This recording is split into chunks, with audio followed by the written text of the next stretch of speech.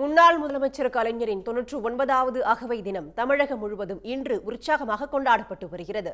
கலைஞரின் தொன்னூற்று ஒன்பதாவது பிறந்த நாளை முன்னிட்டு சென்னை நுங்கம்பாக்கத்தில் அவர் உருவாக்கிய வள்ளுவர் கோட்டம் முழுவதும் வண்ண விளக்குகளால் அலங்கரிக்கப்பட்டுள்ளது.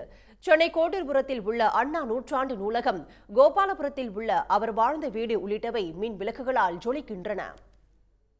கலைஞரின் தொன்னூற்று ஒன்பதாவது பிறந்த நாளை முன்னிட்டு திருவாரூர் சன்னதி தெருவில் உள்ள அவரது இல்லம் முன்பாக வைக்கப்பட்டுள்ள அவரது உருவப்படம் வண்ண விளக்குகளால் அலங்கரிக்கப்பட்டுள்ளது. அங்குள்ள கலைஞரின் திருவுருவப்படத்திற்கு ஏராளமானோர் மரியாதை செலுத்தி வருகின்றனர். கடலூரில் கலைஞரின் பிறந்த நாளை முன்னிட்டு கிள்ளை பிச்சாவரம் முதல் பழையாறு வரை பத்து கிலோமீட்டர் தூரம் படகில் சென்றவாறு சிறுவர்கள் இரு கம்பு சிலம்பம் சுற்றி சாதனை நிகழ்த்தினர். அந்த சிறுவர்கள் ஏராளமானோர் பாராட்டியுள்ளனர்.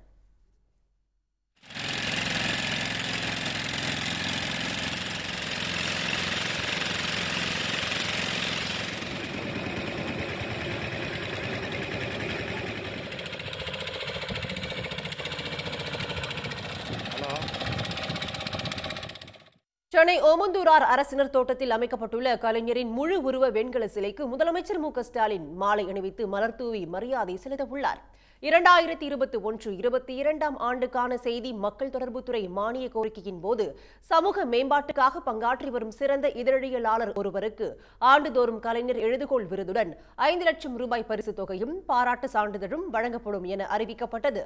அதன்படி கலைஞர் எழுதுகோள் விருதுக்கு மூத்த பத்திரிகையாளர் சண்முகநாதன் தேர்வு செய்யப்பட்டுள்ளார். இதேபோல் தமிழ் திரையுலகில் சிறந்து விளங்கியவர்களுக்கு வழங்கப்படும் கலைஞர் நினைவு கலைத்துறை வித்தகர் விருதுக்கு புகழ்பெற்ற வசனகர்த்தா ஆரூர் தாஸ் தேர்வு செய்யப்பட்டுள்ளார். பத்து லட்சம் ரூபாய் பரிசு தொகையுடன் விருது மற்றும் பாராட்டு சான்றிதழை முதலமைச்சர் மு ஸ்டாலின் இன்று வழங்குகிறார்.